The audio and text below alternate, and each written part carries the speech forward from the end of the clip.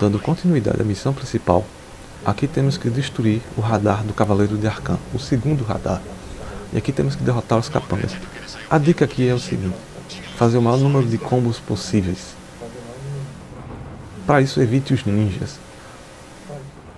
Para que servem os pontos de combo? Os pontos de combo, eles dão pontos de experiência, que podem dar pontos Wintex para você. Para que os pontos Winitech? Os pontos Winitech servem para dar upgrade nas habilidades de Batman. Ok. Uma das habilidades de Batman é essa: planar, apertar o botão R2 e ao cair no chão apertar o botão bola. Dá um impacto que derruba todos os oponentes mais próximos. Vamos usar ele agora. Ok. Tá na hora da bate-porrada.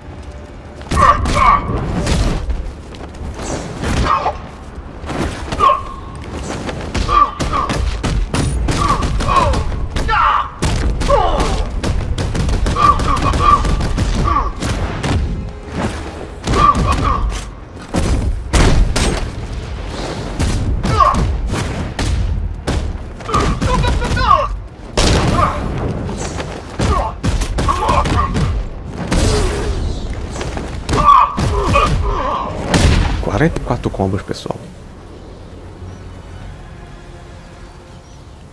Continua no próximo episódio.